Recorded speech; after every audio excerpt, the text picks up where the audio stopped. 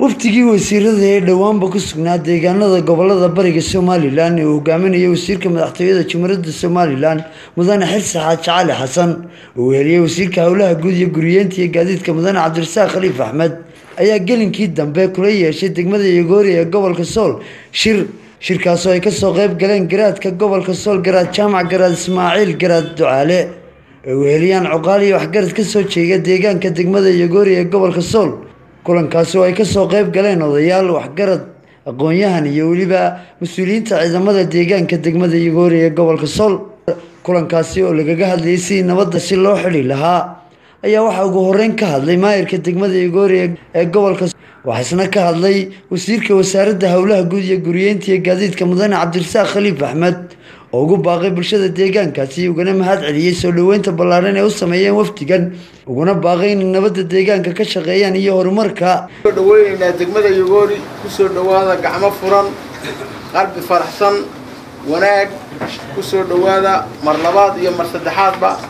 Waxaa halkan ku diyaar ah beeshii ardaaga jaamac siyaad waxaan filayaa war badan iskuma keenseeganoo ilaa maalmahan inagu waynu wada joognay. Hawshii aynu u joognay ee ahayd dhibkii dhacay ee ka dhacay deegaanka guumayseed iyo wixii dhibaaba ah ka horreeyey ee u dhexeeyey labada beelood ee walaalaha ah.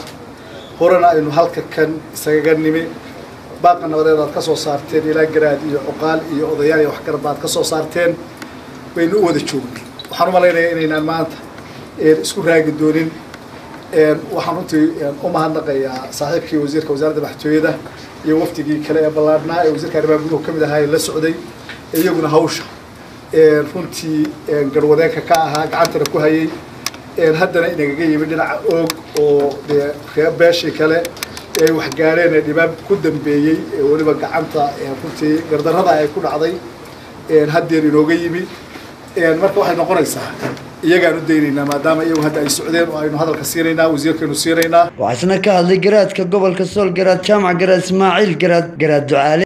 Kulankan oo saacada qaatay ayaa la iskula naaqushayay si nabadda deegaankaasi ee beelaha walaalaha ee ka soo wada. Deegaanka oog iyo guumays nabad waarta loo dhex dhigi lahaa xukuumadduna ay door muhiima ku leedahay ayaa waxaa ka hadlay wasiirka wasaaradda madaxtooyada jumhuuriyadda somalilan mudane xirsi xaaji cali xasan bulshada ka soo jeeda deegaanka degmada yogoori ee gobolka sool sida ballaaran ay u soo dhoweeyeen. Arrinkii aynan raalliba ka ahayn dhammaanteen ee ka dhacay guumays ee xanuunka badnaa. Innagoo isugu nimi baa horta mahadda koowaad aynu ilaahay ugu mahadnaqayn. Intaa haddii aan ka gudbo waxaan u malaynayaa anigu labada ardaaba garaadkoodii baan hawshan aad ka soo shaqayseen haddaad xukuumadda tihiin. Mas'uuliyaddeeda idinkeeda saaran tahay aad go'aankeeda noo sheegteen. Dee beeshu waayey maqlis. Beeshii kalena waad soo marteen. Sidaa uu wasiirku sheegay odayaashii horena sheegeen horena aanu bayaanka iyo go'aanka ku sii daynay. Waxaa weeye beeshu nabad bay diyaarto nabaddu waa muhiim weeye. Nabaddu ninna lama dhalan gogoshiina aad dhigteen waxaa weeye waanu idinla qaadanay caynaba waanu idinla qaadannay.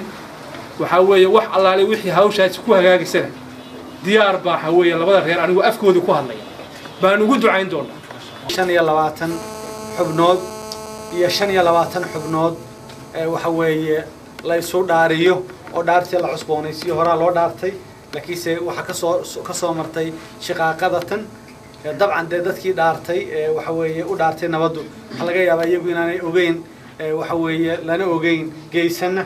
Laakiinse haddana dhaarta waxaan u cusboonaysiinaynaa kalsoonida iyo iyo waxa weeye si loo helo bulshadu deganaanshaha ugu nabadda waxa weeye ugu kalsoonaato.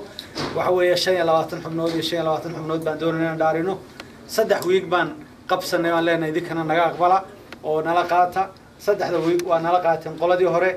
Waxay ku beegan tahay shan iyo tobanka bisha august iyo caynaba oo ah goobta lagu wada hadlayo. Waa barkhad cumar axmed iyo weliba samataryare telefishinka qaranka somalilan degmada yogoori ee gobolka